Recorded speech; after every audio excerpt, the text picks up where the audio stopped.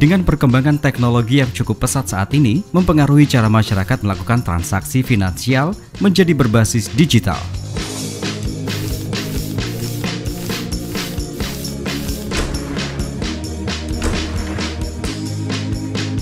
Melihat keadaan ini, Bank Mandiri sebagai agent of development mengajak pemerintah daerah, pelaku bisnis, akademisi untuk menemukan solusi dan memenangkan kompetisi di era digitalisasi.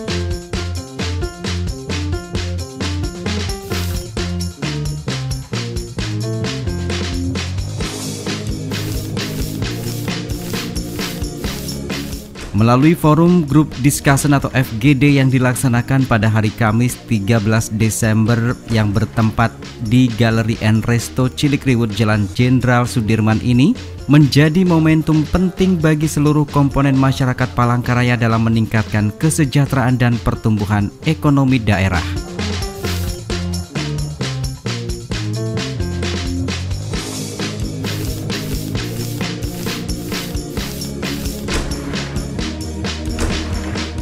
Kepala Cabang Bank Mandiri Area Palangkaraya M. Sofian mengatakan, pertumbuhan ekonomi yang sehat di Palangkaraya akan memberikan dampak positif seperti meningkatnya pendapatan daerah dan investasi.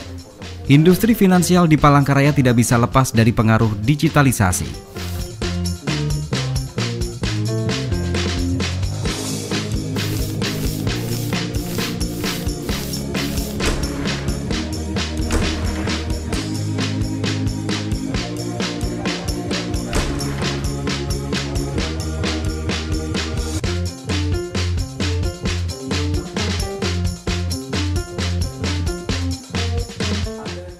Tercatat, pada triwulan 2 tahun 2018, transaksi non-tunai atau cashless di Kalimantan Tengah mencapai 2,12 triliun rupiah dengan volume sebesar 63,38 ribu transaksi.